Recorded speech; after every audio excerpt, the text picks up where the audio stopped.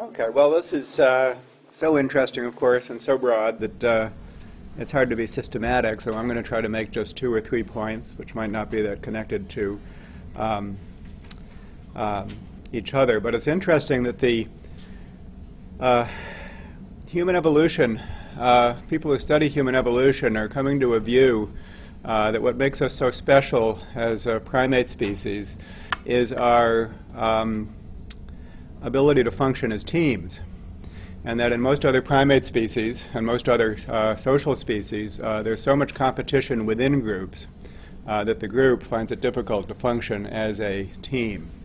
And every once in a while in evolution, that shifts, and you get groups that literally turn into organisms uh, because they, their members exhibit such teamwork. And so social insects are like that. Our own bodies are like that. There's wonderful stories that I could tell you about how we are, in fact, the groups the social groups of past ages.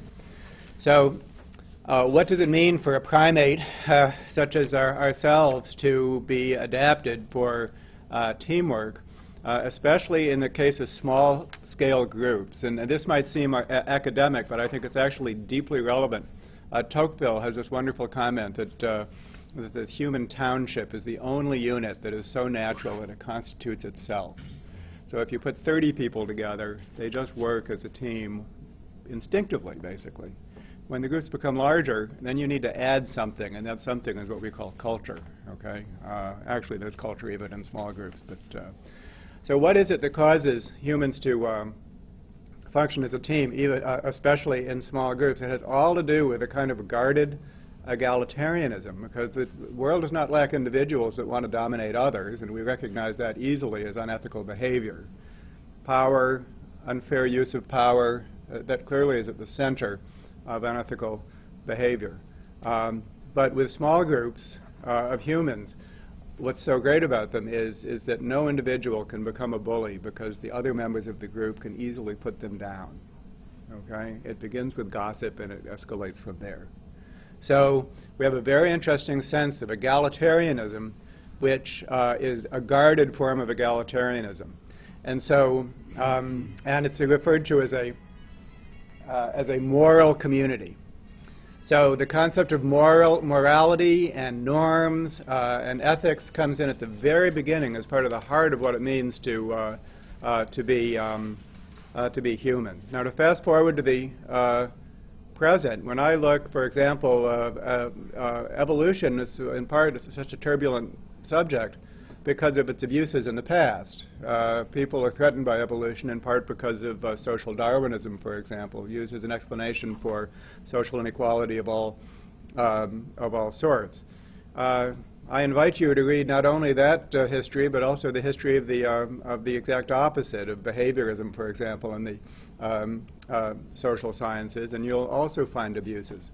So um, uh, these kinds of abuses are not limited to any particular theory. They're limited to the use of all theories, all knowledge, uh, just like other forms of abuses. And what makes them unethical and so threatening is the uh, imbalance of power, basically. Uh, that these were uh, uh, policies, basically, that were being presented without consensus. And I, uh, um, ethics is very complex, but it seems to me one simple thing that you can say about ethics is that when people get together and they make a consensus decision, so everyone agrees that this is what they want, that becomes ethically benign.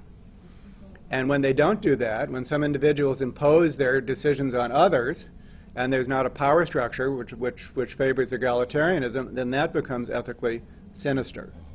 And so uh, this has much to do then with, uh, uh, with social systems that erect an appropriate balance of power and um, so that we can make consensus decisions and then we can do things that we want. When, when, when, when modern social systems um, embrace that, then, uh, then they become ethical. And when they don't embrace it, then they become um, unethical. So those are some, uh, those are some uh, simple preliminary comments. I also want to say something about individuals versus cultures. Uh, there's a wonderful social psychologist named uh, Jonathan Haidt, who actually was here a few weeks ago giving a lecture. He has a paper in Science called uh, The New Synthesis in Moral Psychology. And one of the things that he shows, not just asserts, but shows with his wonderful research, is that there is more than one uh, moral system, and that, uh, and that uh, college folks uh, are at a handicap because they're almost invariably uh, liberally inclined.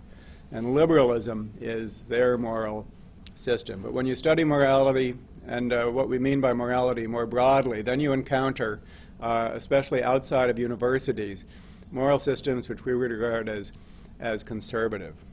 And those moral systems play a high place a high value on authority and obedience to authority, which fundamentally, at some level, comes down to a lack of questioning.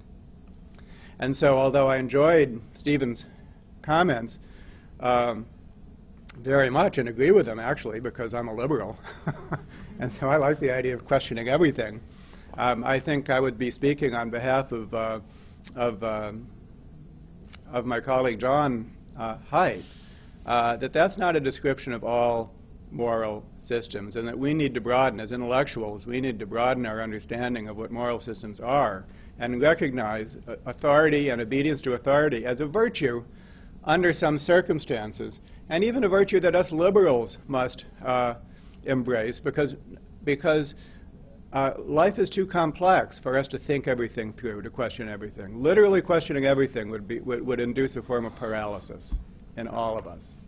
So all of us need a structure, a cultural structure that we don't have to question, that does some of the decision making for us. And then we can question some things within the context of a cultural system. Uh, because questioning is hard work. And if you had to question everything, then it just, it's just a non-starter. So nobody questions everything. And so we all need cultures.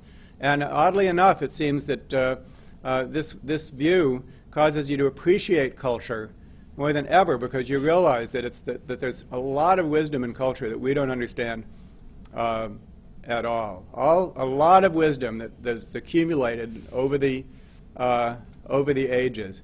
And it works, but we don't know why it works. And that was another point that Tocqueville made. We have these customs, and we don't know why it works. It's like the Wizard of Oz in the hot air balloon at the end of the movie when he's taking off and Dorothy says, Come back, come back. And he says, I can't, I don't know how it works.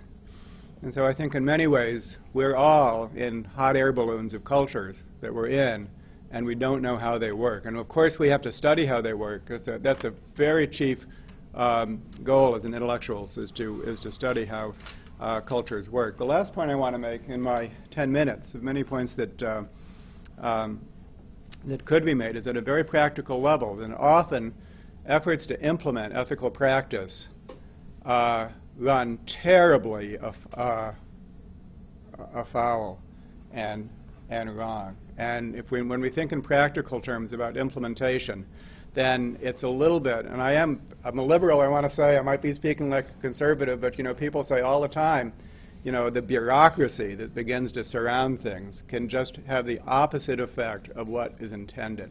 And as Exhibit A, I offer the uh, animal uh, care procedures. So any researcher that works on humans, of course, has an elaborate regulatory system, as there should be.